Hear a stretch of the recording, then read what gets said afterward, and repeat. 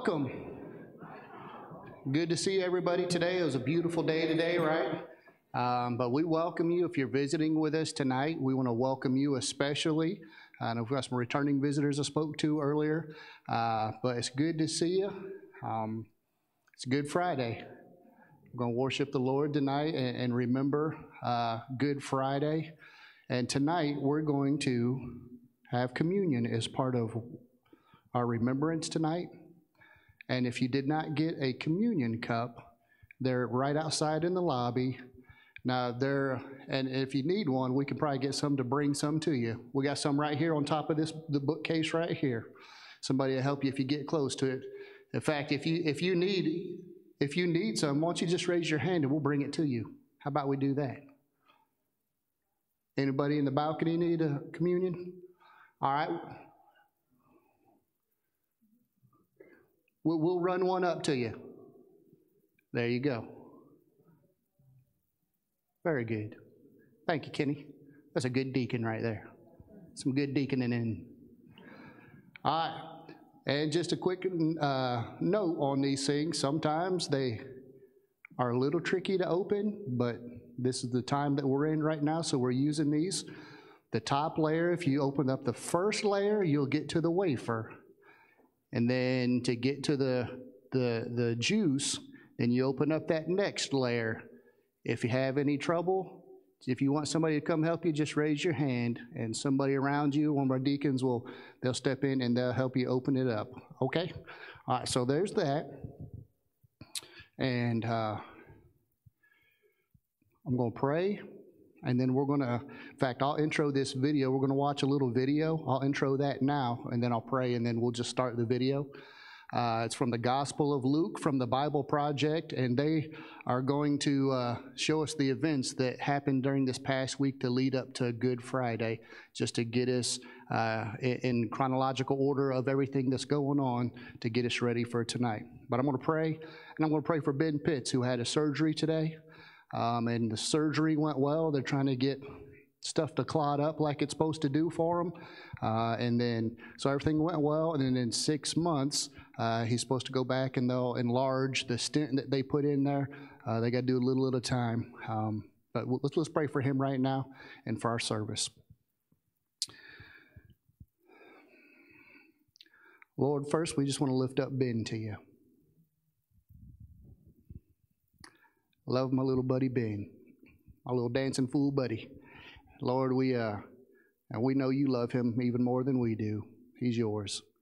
And so, Lord, we pray for him that you would be with him, uh, Lord, as he's, I think, waiting to, to go back to a recovery or ICU room or whatever it is right now. Um, but we thank you that everything went well today. We pray, Lord, that you would just uh, help Timothy and Becky just to, to be calm and to trust in you during this. But we just pray, Lord, that everything, and in six months from now, all this stuff goes good and he grows up uh, a healthy little boy. And then, Lord, we turn our, our focus on to why we're here tonight to remember what Jesus did for us.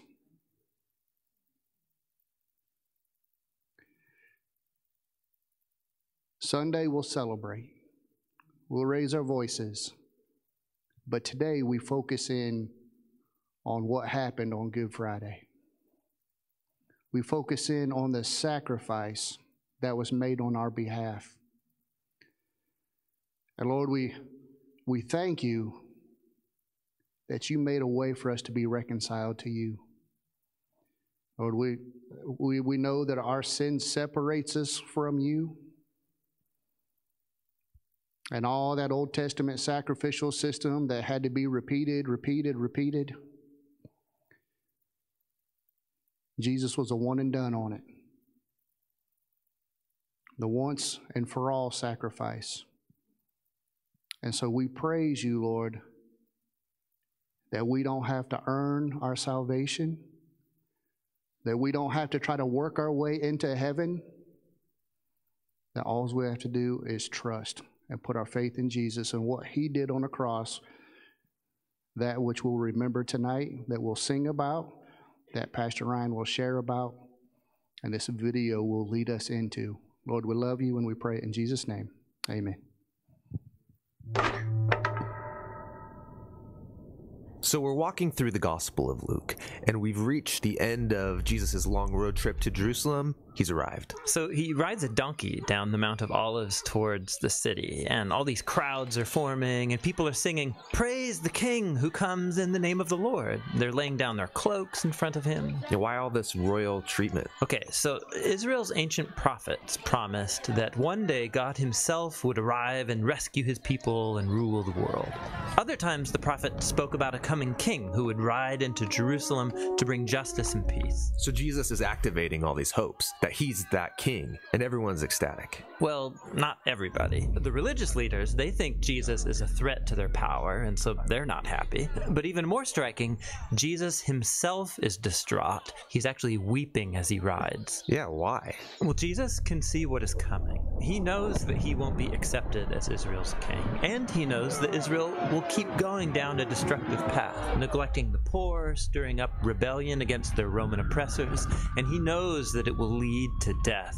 It breaks his heart. And it riles him up. The first thing he does in Jerusalem is march into the temple courts, and he drives out the money changers, disrupting the entire sacrificial system. Yeah, he's staging a prophetic protest, and he stands in the center of the courtyard, shouting out words from Israel's ancient prophets. This is supposed to be a place of worship, but you've made it a den of rebels. A den of rebels. Yeah, he's quoting from the prophet Jeremiah, who stood in this same spot, the center of Israel's religious and political power. And he offered the same critique of Israel's leaders that they're rebellious and corrupt. And they get the message and start to plan to have him killed. Which is no surprise to Jesus. In fact, he planned that all of this would happen during Passover. This is the Holy Week when Jewish people celebrate their ancient story of how God liberated them from slavery and invited them into a covenant relationship. And so Jesus uses the symbols of Passover to reveal the meaning of his coming death. The broken bread was his broken body, and the wine was his blood that would establish a new covenant relationship between God and Israel. Jesus was going to die for his people and open up a new way forward. After the meal, Jesus takes his disciples to a garden to pray. And he struggles with the very human desire to save his life instead of sacrificing it, but he overcomes this temptation. And it's here where the religious leaders, with the temple guards, find him and arrest him. Now, Jerusalem was being ruled by the Roman Empire, and so the temple leaders couldn't execute Jesus without permission from their Roman governor, a man named Pontius Pilate. And so they make up this charge that Jesus is a rebel king stirring up revolution against the Roman emperor. Pilate asks Jesus, Are you the king of the Jews? And Jesus answers, You say so. So Pilate can see that Jesus is an innocent man and he doesn't deserve death. But the leaders keep insisting that he is dangerous, so they negotiate a compromise. Pilate will release an actual rebel against Rome, a man named Barabbas, instead of Jesus. And so the innocent is handed over in the place of the guilty.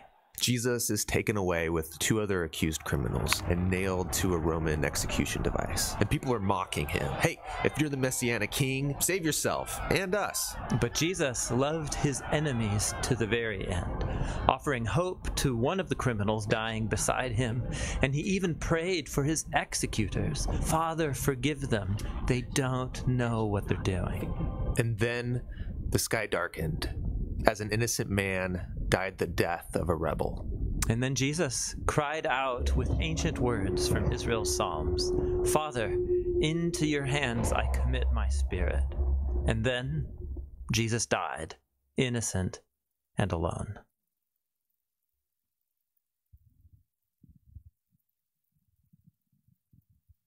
Now let's begin our time of worship together. And would you please stand as we sing the old hymn at the cross? Música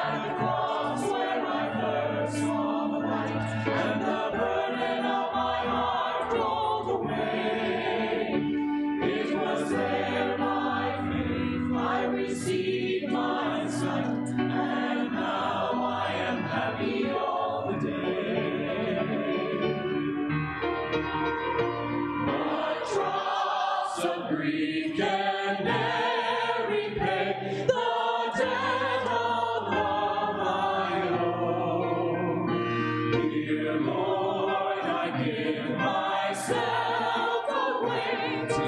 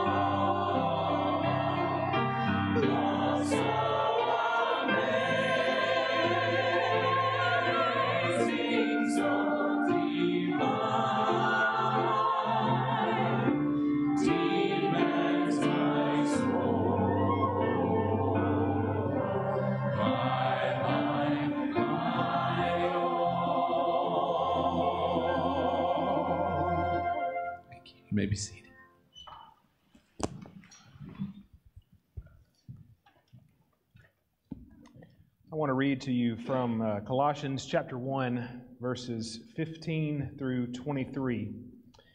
And I, I chose this passage because it ends with the crucifixion and what Christ did for us on the cross and the invitation for us to place our faith in that. But it begins by reminding us who it was that hung on that cross. Starting in verse 15. He, speaking of Jesus, he is the image of the invisible God, the firstborn of all creation. For by him all things were created in heaven and on earth, visible and invisible, whether thrones or dominions or rulers or authorities. All things were created through him and for him. And he is before all things, and in him all things hold together. And he is the head of the body, the church. He is the beginning, the firstborn from the dead, that in everything he might be preeminent. For in him all the fullness of God was pleased to dwell, and through him to reconcile to himself all things, whether on earth or in heaven, making peace by the blood of his cross. And you, who once were alienated and hostile in mind, doing evil deeds, he has now reconciled in his body of flesh by his death, in order to present you holy and blameless and, above reproach before him, if indeed you continue in the faith, stable and steadfast, not shifting from the hope of the gospel that you heard.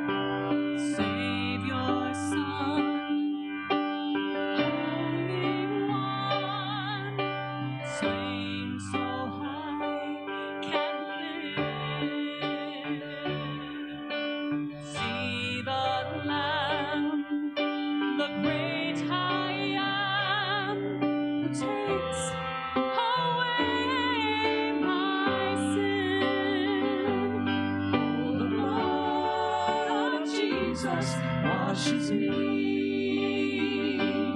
Oh, the blood of Jesus shed for me.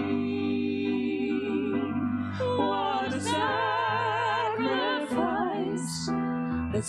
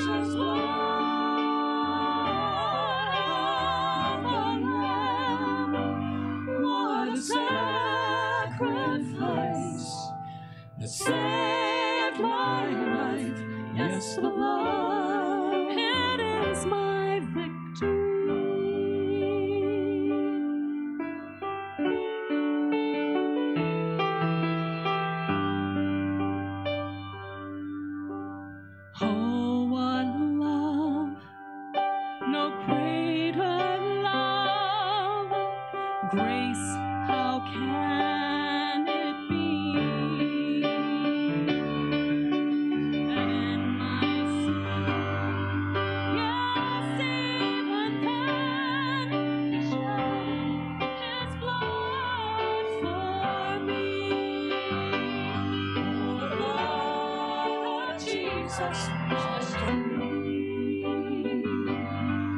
the blood of Jesus shed for me.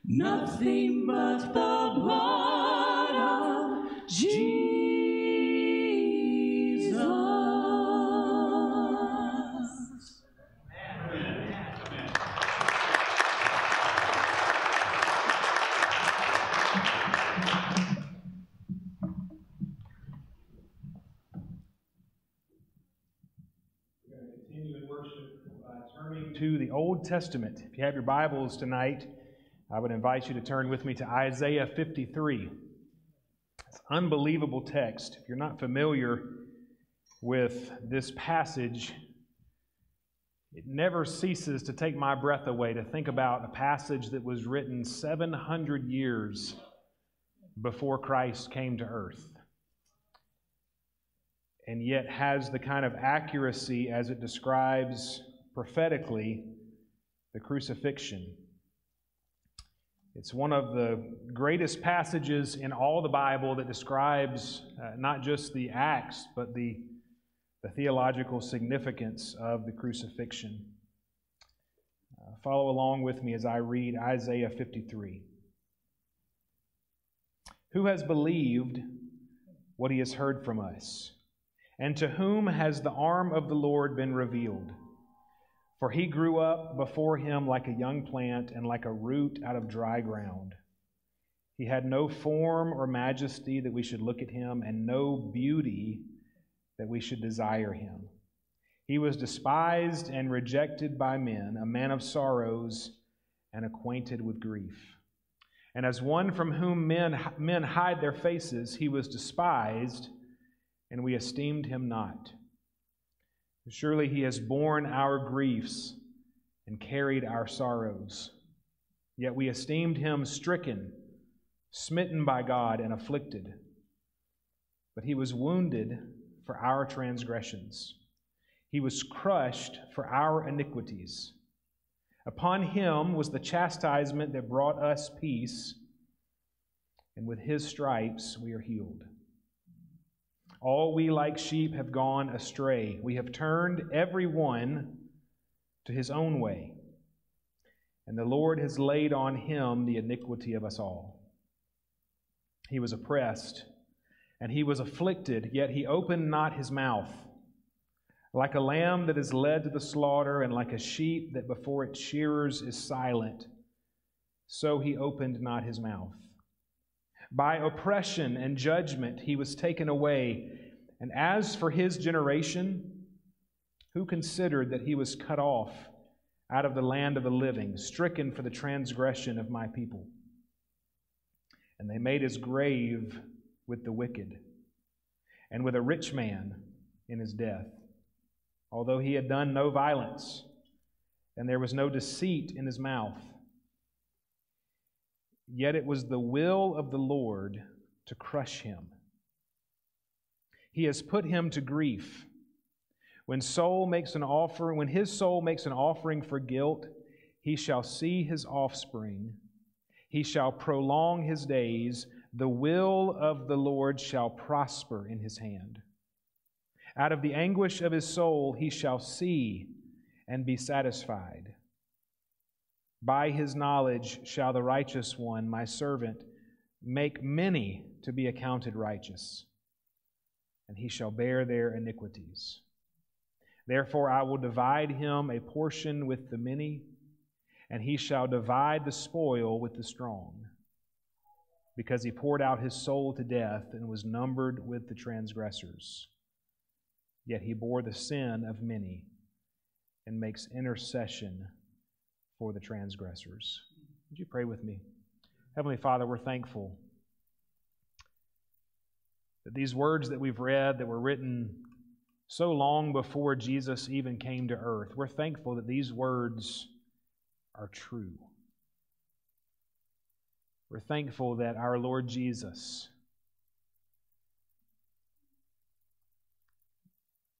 died a sacrificial death for us that by his wounds we might be healed. Uh, Father, I pray that you would help us to encounter you and worship you as we remember what you did for us. We pray these things in Jesus' name. Amen. As we think about Good Friday, just about every Good Friday, I, the thought comes to my mind what is good about this Friday? And of course, we, we ask that question understanding what Christ did for us. And so I've heard many, many times the answer that, well, it was a Good Friday for us because it wasn't a Good Friday for Jesus. That's what I've thought my whole life. And I'll have to be honest with you, as I was preparing for tonight, I think for the first time, the, the Lord kind of led me to think that I'm not thinking completely right on that. When I, when I think that it was a good day for us, but not a good day for Jesus, I think when we answer that way, we are in danger of still defining good the way we define good. Because we often define good as comfortable, pleasurable, enjoyable. And so when we look at a, a, verse like Romans 8 28, that God makes all things work together for the good of those who love Him and are called according to His purpose, our sinful minds, our selfish hearts, we often jump into thinking that God's going to make everything in my life work out in a way that I like it.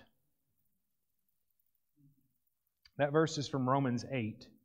And I've often summarized verse 8 in this way by saying that God is more interested in our future glory than our present comfort. And that's what good is supposed to be all about. Good isn't supposed to be about pleasure. Good isn't supposed to be about enjoyment. Good is supposed to be about pleasing the Father. When, when Jesus uh, was visiting with the woman at the well in Samaria, and his disciples had gone out to get food, and I'm paraphrasing here, they came back, and basically Jesus said, Well, I don't need your food. And they thought, Well, we just went on this long trip to get you food. Where did you get food? Jesus said in John 4:34, "My food is to do the will of him who sent me." and to accomplish his work. A good day for Jesus was not a day in which everything was pleasurable and enjoyable. A good day for Jesus is one in which the will of the Father was accomplished.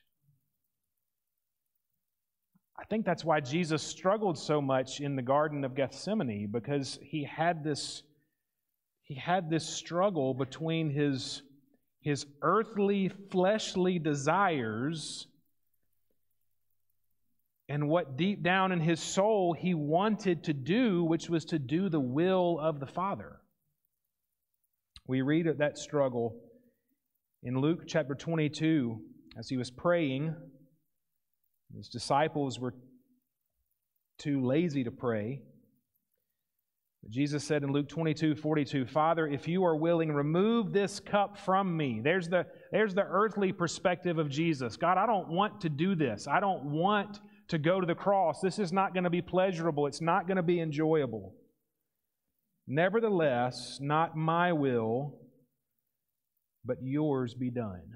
Jesus was driven by the will of the Father. And that's why I think that Good Friday was even a good day for Jesus. Because God's will was done. That's what we read in Isaiah 53, verse 10.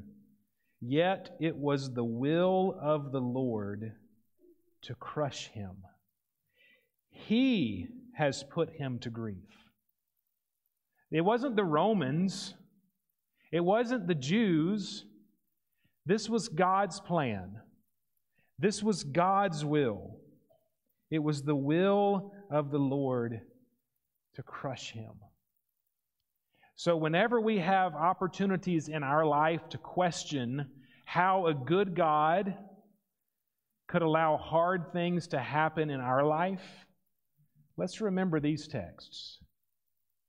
Let's remember that it was the will of the Lord to crush Jesus for our benefit. It will not always make sense, but it will always please the Lord who is making things new again through the blood of Jesus.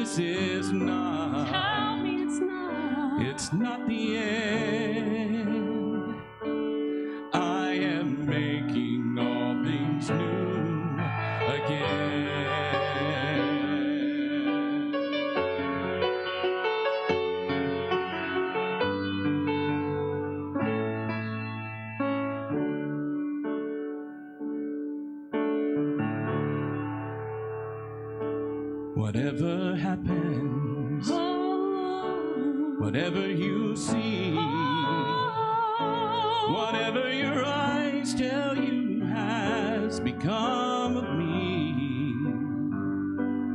This is not, no. it's not the end.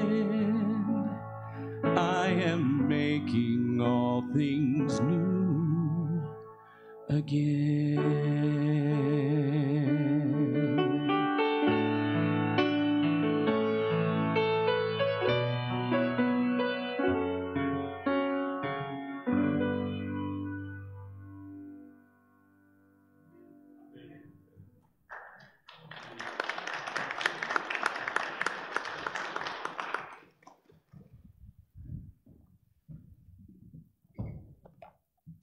Did Jesus make all things new again? We actually have the answers to that right here in Isaiah 53. Look at verse 2. He had no form or majesty that we should look at him, and no beauty that we should desire him. He was despised and rejected by men, a man of sorrows and acquainted with grief. Jesus made all things new, not with beauty and majesty, but with rejection and sorrow. He was willingly rejected because of us. took our sin upon himself. Verse 4 says, Surely he has borne our griefs and carried our sorrows, yet we esteemed him stricken, smitten by God, and afflicted. But he was pierced for our transgressions, he was crushed for our iniquities. There's that picture again that 700 years before Jesus, words that were written that, that paint an unbelievably accurate picture of the crucifixion, pierced for our transgressions. And then we see another prophetic statement down in verse 9 they made his grave with the wicked and with a rich man in his death. Only the Lord could have revealed that to Isaiah that Jesus would be numbered with the transgressors as he hung on the cross and then buried in the tomb of a rich man, Joseph of Arimathea.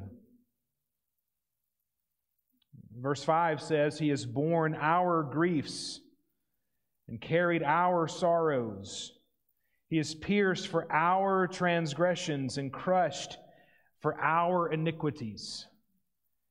How did Jesus make all things new? He did it by bearing our sin and dying our death. As we think about the Lord Jesus tonight and his death on the cross, it, it should have been us. But he bore it for us. 2 Corinthians 5:21 says that God made him to be sin who knew no sin, that in him we might become the righteousness of God. Verse 5 also says, Upon him was the chastisement that brought us peace, and with his wounds we are healed. So, what do we need to be healed from? Our sin. Verse 6 All we like sheep have gone astray. We had a good shepherd a perfect shepherd who would lead us beside the still waters, but we've all gone astray and turned every one to his own way, and the Lord has laid on him the iniquity of us all. Uh, Jesus bore our sin and died our death. But here's the good news, friends. Verse 11 says, By his knowledge shall the righteous one, my servant, make many to be accounted righteous, and he shall bear their iniquities. And verse 12 says, Yet he bore the sin of many and makes intercession for the transgressors. Jesus makes all things new by interceding for us and making us righteous, declaring us to be righteous according to his righteousness, not according to our own. And that's the only way we can ever stand before God. Because Jesus interceded for us and shed his blood that we might be made righteous through faith in him. It was, and it still is, a Good Friday. As we remember the death of the Lord Jesus, go ahead and get these cups ready. If there's anybody who needs one, if you'll let us know, the ushers will be ready. This, this text that we've read tonight has been around for a long, long time. And this meal has been around for a long, long time. Jesus revolutionized this meal. He was, he was with his disciples the night before his crucifixion, and they were having the Passover meal. They were remembering what God had done to, to lead the Israelites out of bondage in Egypt. And for all of their lives, these Jewish boys would have uh, taken the Passover meal and recounted the Passover story to remember the Passover. And Jesus made all things new that night. Because he took bread and he took the cup and he said, From now on, this you will do in remembrance of me. Not just the Passover story that pointed to the greater sacrifice, but this you will do in remembrance of what Christ has done. If you will, just remove that outer layer there and get your hands on that wafer of bread. This bread is a reminder of the body of Jesus. Now, that's a part of the story that starts way before the cross. It starts with the incarnation when, when Jesus loved us enough to come to this earth and take on the form of a human. And then, as a human, he lived a sinless life, always doing the will of the Father, always perfectly obedient, never disappointing God, never a single sin. Paul reminds us in that verse that we read earlier from Colossians chapter 1, verses 21 and 22, he reminds us of what Christ did for us through his body. He said, You who were once alienated and hostile in mind, doing evil deeds. I don't know about you, but I wish in my life that was always in the past tense. You who were alienated and hostile in mind, doing evil deeds, he has now reconciled in his body of flesh by his death in order to present you holy and blameless and above reproach before him. He did that for us, and we do this in remembrance of him.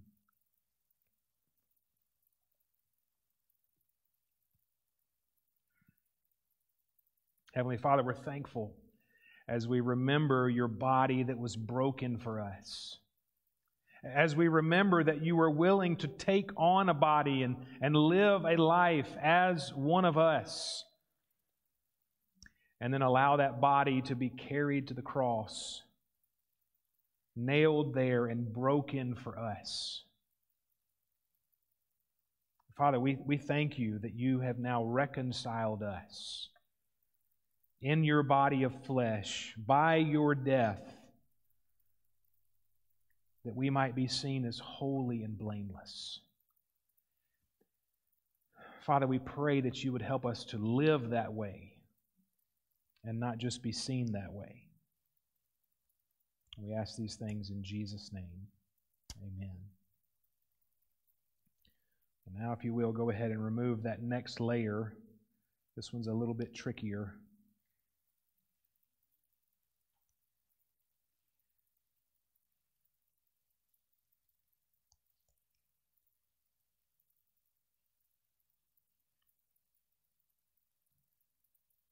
Anybody needs help with any of this, just let one of our deacons know. They can come help you get that open. When Jesus was sharing the Passover meal with his disciples the night before his death, he came to the cup and he said, This is, this is the cup of the new covenant. The old covenant was passing away, and Jesus was making all things new by the shedding of his blood. Once again, Paul helps us to understand that in Colossians 1. Verses 19 and 20 says, In him all the fullness of God was pleased to dwell, and through him to reconcile to himself all things, whether on earth or in heaven, making peace by the blood of his cross. Without the shedding of blood, there is no forgiveness of sin, but with the shedding of the blood of Jesus, there is no sin that can't be forgiven. He did that for us. And we do this in remembrance of Him.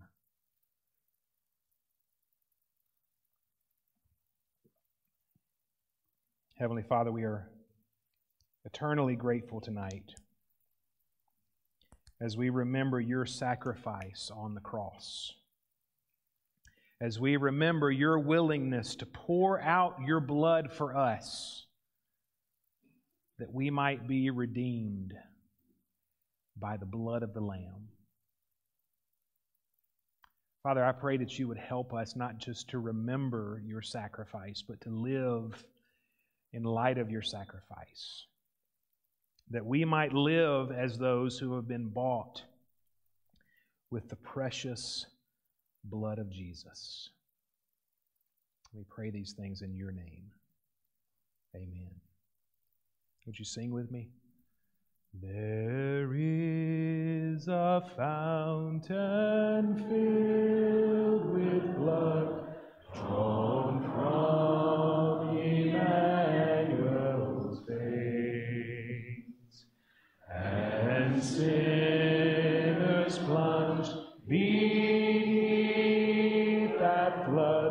lose all